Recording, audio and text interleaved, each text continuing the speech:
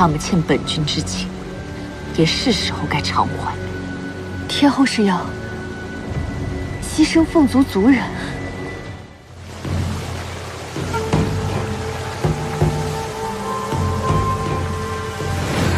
时至今日，你竟还在颠倒是非。六万年前，便是你对月。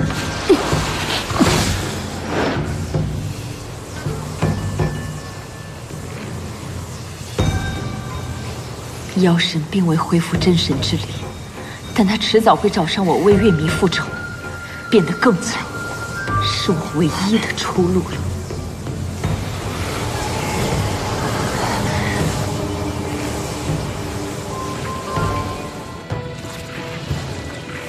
日前，仙妖两族在罗刹地开战，妖族人口口声声说其族人被我天宫掠走，起先夏军只是当他们信口雌黄，以此挑起事端。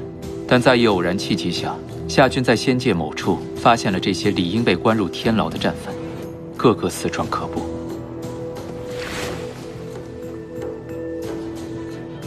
灵气枯竭，形容枯槁，魔气。嗯。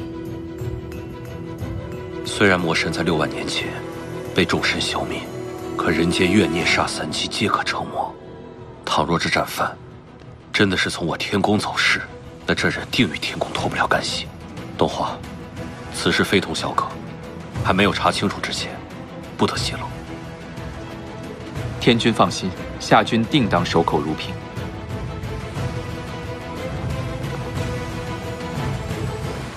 什么？天帝竟然让剑儿打理凤族？天后，凤族是您的心血，但二殿下也是您嫡亲的人。由他打理凤族有何不可？属下多言。告诉你也不是不可。本君有些秘密，藏在凤族梧桐林中，不想让剑儿知道吧？本君让你利用妖族兵将，你做的如何？一切按天后吩咐。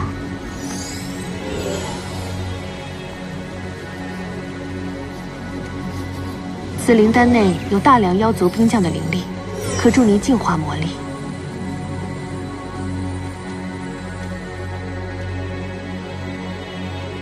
都怪本君一时疏忽，竟然让魔气进入体内，一步错，步步错。如今之计，只有通过吸收仙妖大量的灵力来净化体内的魔气。天后放心，属下定会为天后寻找更多灵力。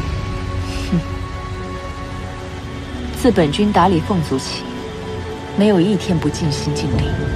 这六万年，梧桐林在本尊的庇护下，族人无不对我歌功颂德。